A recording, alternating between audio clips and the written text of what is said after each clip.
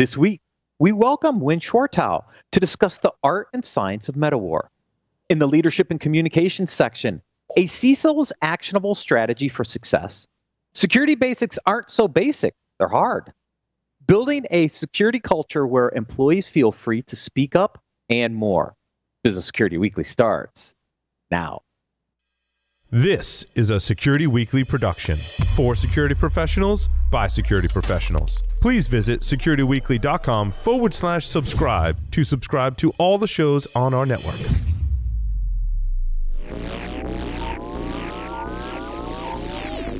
Broadcasting live from G Unit Studios in Rhode Island, it's the show where we explore the business of security to improve the security of business. Your trusted source for actionable insights on leadership, communication, and innovation. Get ready for Business Security Weekly. If your organization is ready to embrace edge computing, we have good news. The 2023 AT&T Cybersecurity Insights Report provides everything you need to know to get started. In the report, we identify the common characteristics of edge computing. We found edge use cases are rapidly coming online, and we reveal how to secure edge computing, which is a dynamic, nonlinear, and unconventional approach to computing. Most importantly, you'll learn how to prepare for your edge ecosystem. Get your complimentary copy of the report today by visiting securityweekly.com forward slash ATT cybersecurity. That's securityweekly.com forward slash ATT cybersecurity. According to the 2022 Data Breach Investigations Report, the human remains the number one driver of breaches today, demonstrating that cybersecurity is no longer just a technical challenge, but a human one as well. But how do you manage the human risks of cybersecurity? It starts with measurement. Only by effectively quantifying human risk can organizations engage employees with relevant activities to truly change human behavior. That's human risk management. Map key human behaviors to the business risks that matter most to your organization for free by visiting securityweekly.com forward slash living security. Welcome to Business Security Weekly. This is episode number 318, recorded August 28th, 2023. I am your host, Matt Alderman.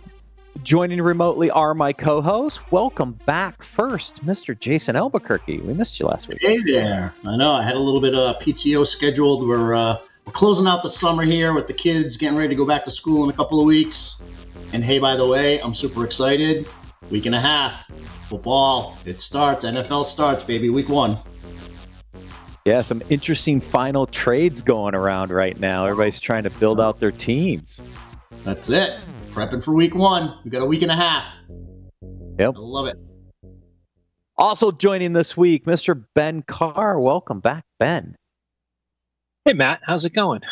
Just uh, enjoying a little bit cooler weather here, a little bit of rain. Kids are back in school and just, uh, yeah, moving forward with the house, getting some stone on it. So things are good. Nice. Finally got under 100 degrees for once. Yeah, crazy. Security Weekly listeners, InfoSec World 2023 is just weeks away. Have you registered to join over 2,500 cybersecurity experts on September 25th to 27th in Lake Buena Vista, Florida? InfoSec World is your gateway to a world of world of knowledge and growth. Don't miss the chance to enhance your career, connect with industry leaders, and make an impact on the rapidly evolving landscape. Secure your seat using code ISW SECWEEK20 to save 20% off your registration. Register today at securityweekly.com forward slash InfoSec World 2023. For most people, Winn does not need an introduction. Winn has lived cybersecurity since 1983 and now says, I think maybe I just, I'm just starting to understand it. I, am still not there. Winn his prediction about the internet and security have been scarily spot on. He coined the term electronic Pearl Harbor while testifying before Congress in 1991. His seminal book, Information Warfare, showed the world how and why massive identity theft, cyber espionage, nation state hacking, and cyber terrorism would be an integral part of the future. Today's present. Winn, welcome to Business Security Weekly. Hey, Matt, how are you? How are you? Good, good, good. We've we, you and I we were we were trying to figure out when we actually met. We were on a plane ride, I think, to Vegas for Black Hat.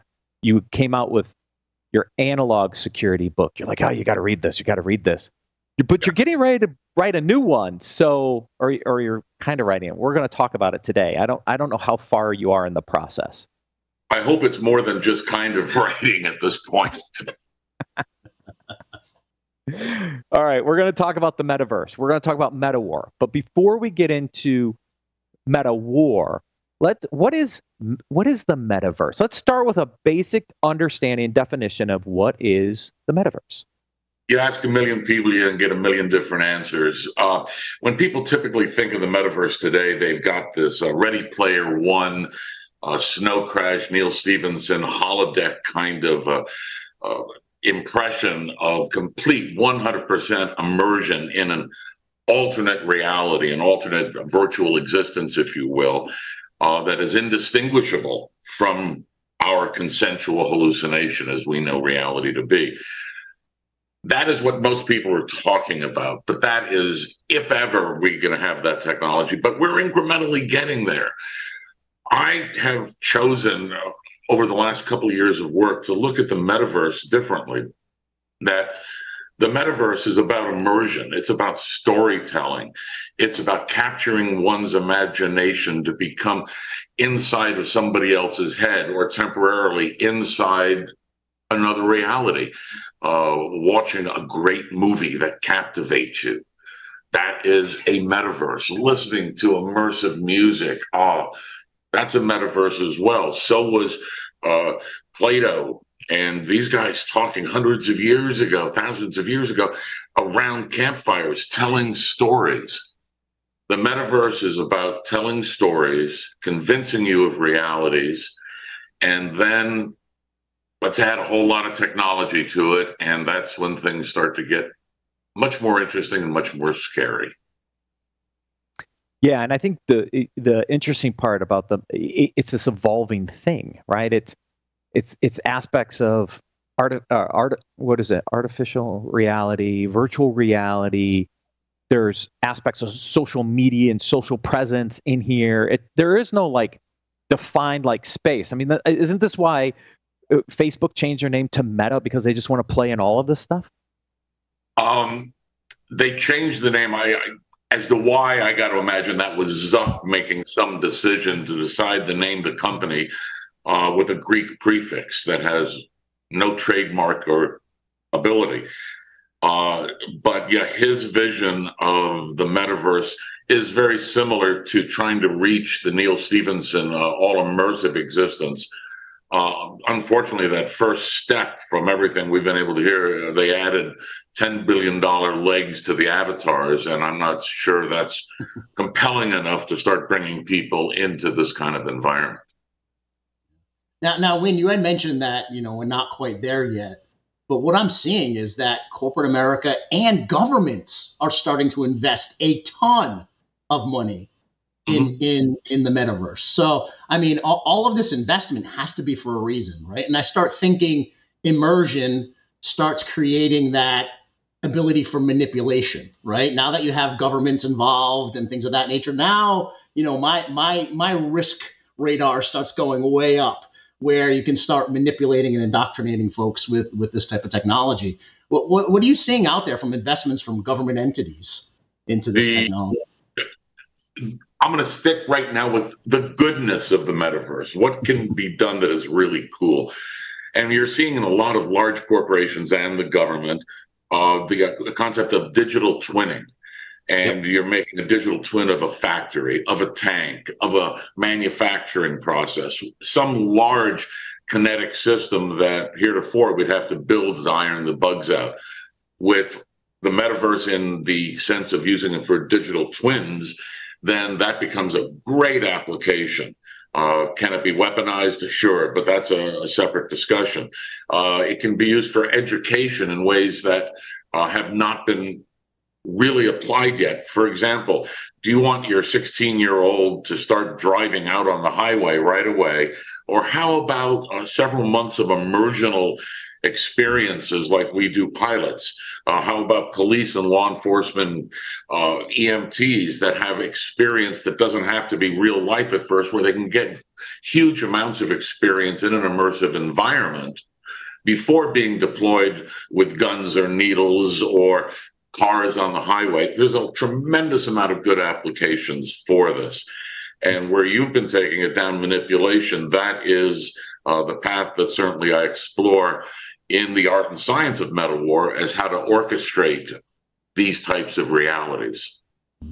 Yeah, I mean that's that's that's a perfect example. I mean, I've seen um, everywhere from you know uh, oil companies using it to train folks and get them used to you know folks who be working in dangerous situations, getting them the training with the digital twinning and, and doing that immersive training up front, uh, doing it for testing and, and getting folks experience. But you know, it's the blessing and the curse of the technology. So you know, being right. in, the, in the cybersecurity realm, you you always start looking at the risks. But yeah, no, I've seen that in action as well. All of that yeah, that, on, the, on the positive side. When I began this project a couple years ago, I was under the impression uh, to myself, and I had fooled myself, that I was merely going to be looking at the hardware technology, the software technologies of how to make metaversal experiences actually dynamic with minimal latency and all the tech that's required, and what are the security and privacy implications. And I began looking at it from that traditional viewpoint. And as I got further and further into it and the implications of it, because I was looking at it purely through the time domain, uh, how long does it take a human being to react to something? Uh, from balance from the ear to the eye, how long does that take? How long does pain take?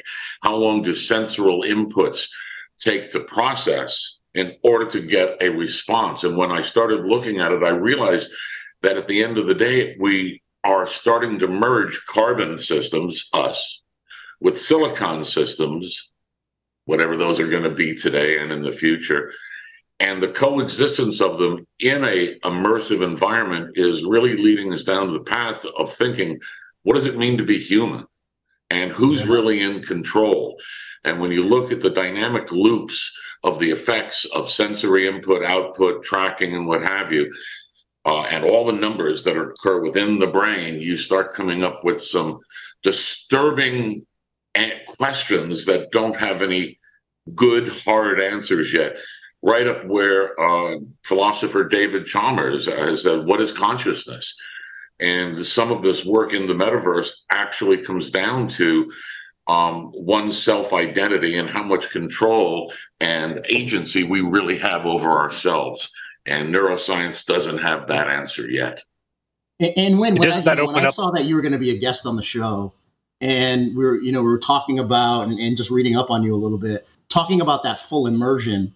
Um, you know, I sat back and I said, in order for these companies to be able to fully immerse us in this experience, they're going to need to be able to um, tap into our senses, but also tap into our experiences. I mean, our reality is my experience in life. It's my reality. My reality is a little bit different from yours, but then it's also my senses, my smell, my touch, my taste. You know, do you see these companies getting to that point where they're able to manipulate that experience to the point of sense and taste and pain and things of that nature and then monitor us for how we're reacting to it because I'm gonna, I may react to an experience a little bit more different than you just from my upbringing and my experiences and what I've had throughout my life. Do you see them getting that deep? Oh, that's a perfect question, and the answer is yes. Uh, the longer answer is how long will it take, and what is going to be the dri- driving force behind it? Is it going to be all about money? Is it going to be all about manipulation, disinformation, and uh, uh, perception management, uh, or is it going to be taking it slower for real applications as we learn how to really use it? So there's not a hard answer here. It's as Matt said earlier, this is an evolving world, and I don't believe that every iteration of the metaverse that we come up with or that exists today uh, are all going to exist, nor are they going to all end up in the same place. Uh, the Roblox uh, metaverse, if you will. It has some great applications for some specific things and it has some limitations. As we start monitoring our senses and do more body tracking and take that information and feed it back to where the orchestration of the content delivery to our external senses are, once those go together, and then you look at the timing elements of the carbon network, and you look at the timing elements of the silicon network, creating reality as close as we can is about synchronizing those two. And that's going to have to adjust from your particular body dynamics and physiologies, my particular ones that are going to be different. The timing is going to be different. Uh, the reaction bases are going to be different. But here's what gets really scary. When we look at the world of privacy today, uh, one of the big words that we're the compliance people especially use PII, personally identifiable information, which in my opinion is going to be almost worthless in, and I'll say five to seven years. Why? Because that's static information that has mm-hmm. a time limitation of value. Uh, that's why only certain lengths, uh, types of crypto are needed for certain types of transactions because of the latency and value period of the information being protected. When we do the same thing to human beings and the PII goes away, what do we have? We have PIB, personally identifiable behavior. And these systems, because of the way the memory is going to work, the way that the offloading of, tra- of data from edge servers to central servers is going to work, we're going to have huge amounts of behavioral based data that's going to know over time exactly how Winn or Matt or anyone is going to react under given conditions. Are we going to be there tomorrow? No, but we're inching there more and more and more. So when if you if you think about that, you know, you said you were going to stay on the on the positive and the, the good side of this, but I can think of a lot of a lot of potential negative impacts or utilization or misuse of this, right? Oh, yeah. And I, I, guess doesn't it must concern you. It concerns me, like how this stuff could potentially be misused. Uh, we want to think about our our current reality as you know, however we define it, it, it's something that is real and therefore cannot be necessarily manipulated in, in, to, to a large extent, right? That that evolution of thought may change at some point.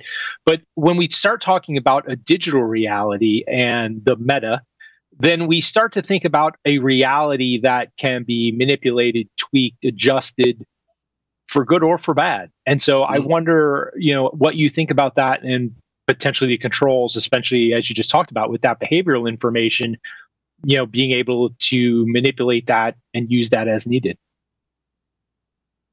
you're making the argument that I fully agree with that effectively today's version of the metaverse, and let's just call that social media today, and we add in some uh, photoshopping, and now we got better and better deep fakes.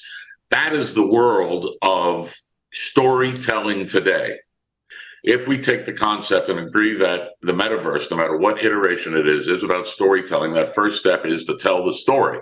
But in order to tell a story, I need to give you some level of immersive experience, shutting your eyes and becoming part of the great tale of Odysseus and the Aegean back 2,500 years ago. Does that immerse you? Maybe. But that immersive requires also, by definition, a little bit of reality distortion. In order to get you to believe and buy into the story, I also have to give you disinformation. That's all absolutely required, regardless of how immersive the experience is. We're already seeing a great deal of this. We've seen the effects of great orators alone over hundreds of years. And then we've seen the effect of Orson Welles. We just added in some audio over a big clunky speaker in 1938, and people go rioting in the streets. All slight increases in the immersiveness of the experience. So we're there today. And we know that we're there today because of the total schism between information, disinformation, truth, belief, and all of these fuzzy areas that science says are all in the middle. But people that have belief in the absolute sense of the word uh, are on either end of the curve. And that is where the schism is between absolutism and a spectrum of possibilities in the middle.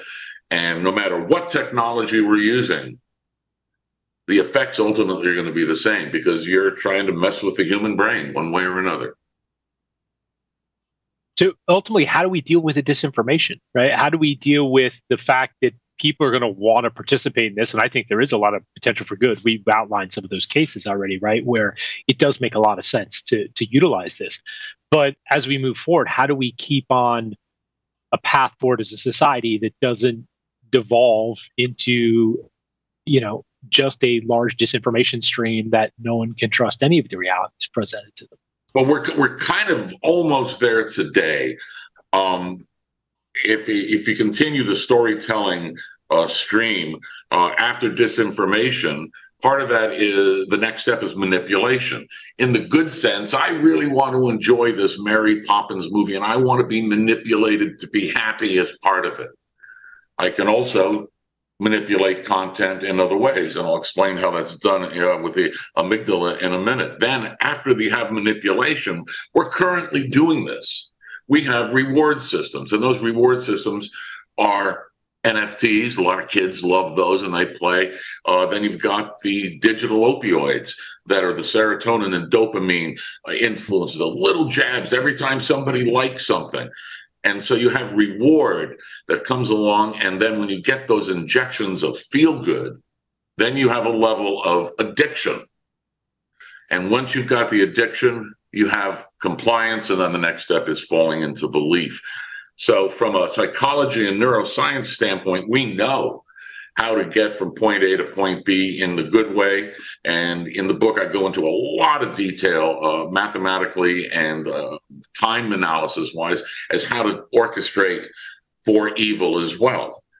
Because if we don't understand how to attack, we're not going to learn how to defend. So once you have all these, there's only three possible ways to take a look at defense.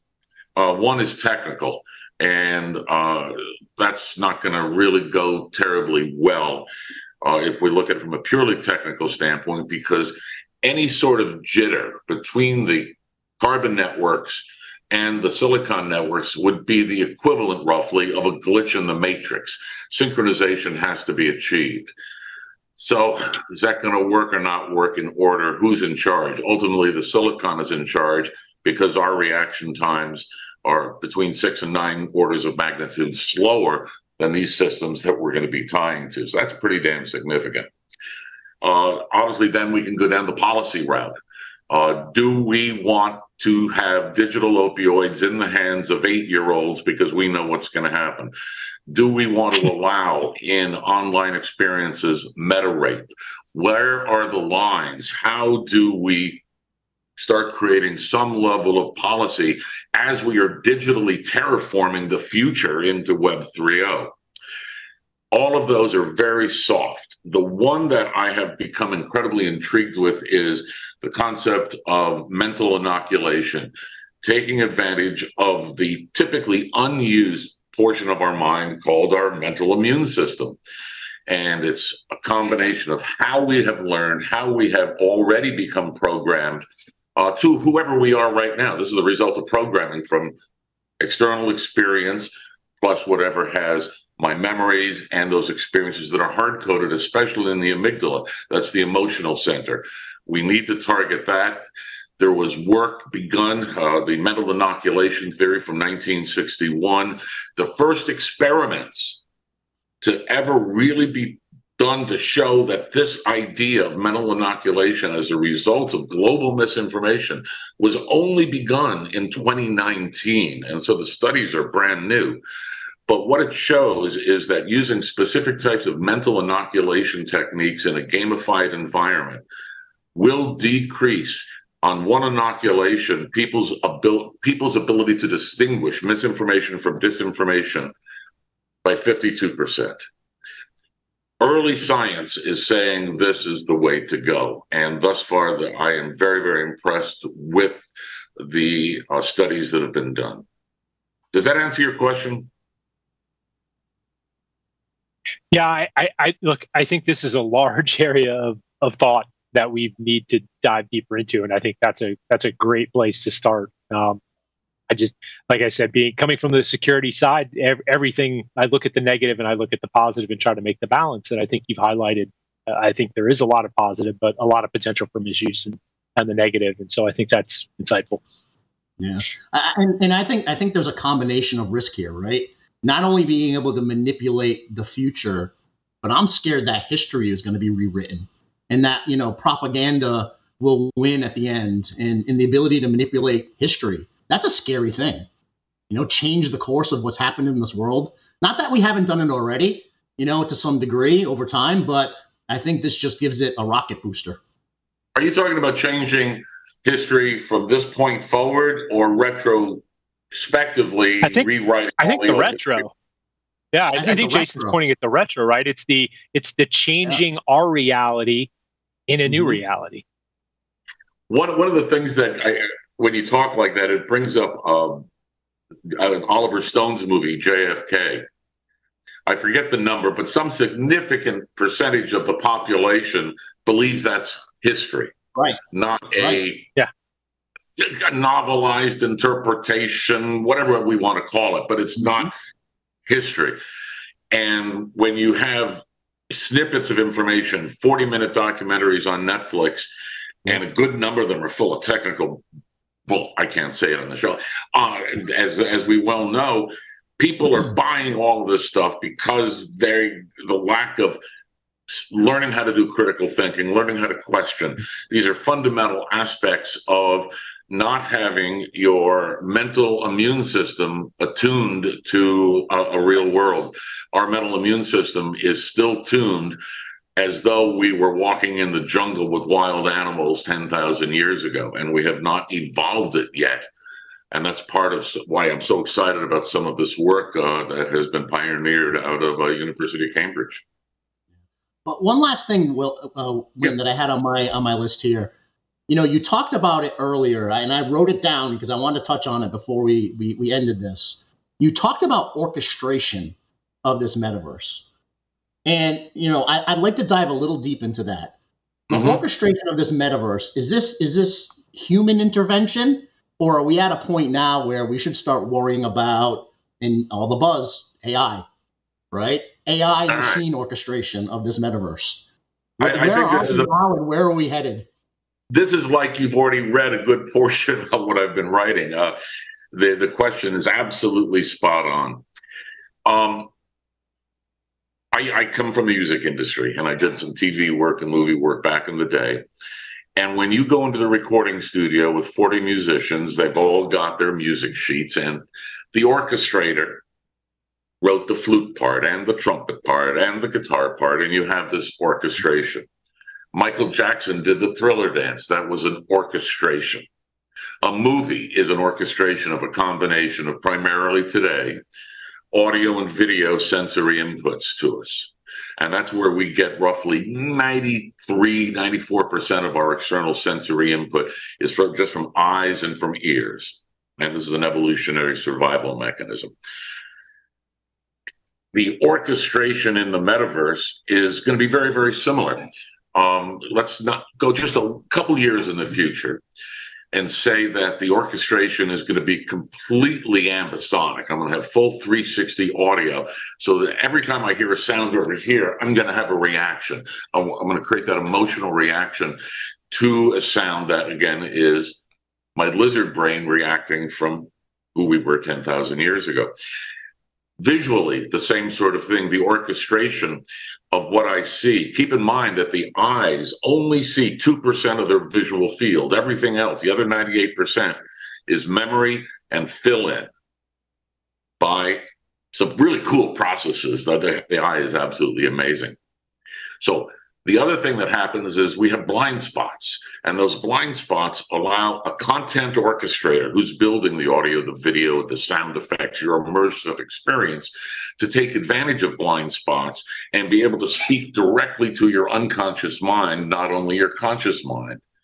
So, one of the ethical questions that has to come as well is should content orchestration, you know, we'll buy it on a DVD or you download the app or you're living uh, in it in the metaverse, should it be able to influence you legally or morally to do or behave or track you in ways that are unknown to you? Should it be able to directly target your unconscious mind and not your frontal conscious, uh, your your conscious mind? So there's some huge questions here that are all you're absolutely spot on. But initially, it's going to be we're going to design a metaverse. Some game designers are going to do a thing, cool, and they'll tie together, and we're going to learn how to do all that better. Then, within 12 months, I'll say, they're going to throw on the AI on top of it in order to get that automatic feedback loop occurring between our body sensors, the haptics that are going on, our biosensing results, the tracking with the orchestration. And that entire sum, regardless of how many senses you're influencing, that is content orchestration for the metaverse, regardless of how many you're dealing with. And that is a use case that AI can already basically support today. Because the best use cases for things like generative AI are content creation, image uh, identification, and selection. That's where the technologies have a, a sweet spot right now. So to make that leap isn't that hard. We're already there. No, we're, we're, we're, and I'm not going to use the word leap because I, I, you know, Matt, I hate binary stuff. Um, it's some of the visuals that you're going to see in, for example, the uh, Apple, what is that called? The Vision Pro? Was that the name of it?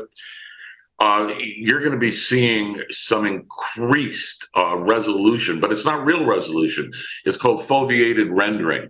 In order to get uh, a simulated field of view of that which we see, roughly 210 degrees wide, we think we see, we only see 2% of it. So, why do we need to, in a digital environment, resolve all of this when I really only need to resolve this little bit? Because with trackers, I'll be able to understand the saccadic movements and the foveated motion of what's going on in the retina. Once I can do that, it's just going to get technically better and better and better until we reach um, retinal vision. Retinal vision will sit somewhere between 8 and 12K, is uh, the best guesses right now. That's nothing from a data side at all. Like 8, 12K oh, is peanuts but it's an awful lot of data in order to correlate when you've got an endpoint that's going to require massive bandwidth.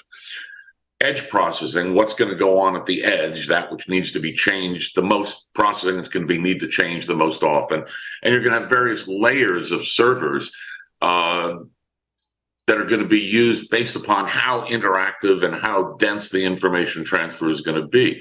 And this is what's where I started looking at it from the uh, pure cybersecurity standpoint. I started there saying this is going to be incredible and hard, if not impossible, to secure in the traditional ways that we think about information security. I, I have talked to a lot of people in the last two years on this, and the best we come up with is some sort of synchronized neutrality. But that doesn't change what's the content delivery. We're going to leave it there, Winn, because this was a great conversation. We could probably go on for another half an hour. Thank you so much for joining us on Business Security Weekly. Oh, I am to have these questions. The level of questions was astounding. I really appreciate it. You guys are really getting it, and that that means a great deal to me. Fabulous. All right, folks, we're going to take a quick break and then cover the leadership and communications articles for this week.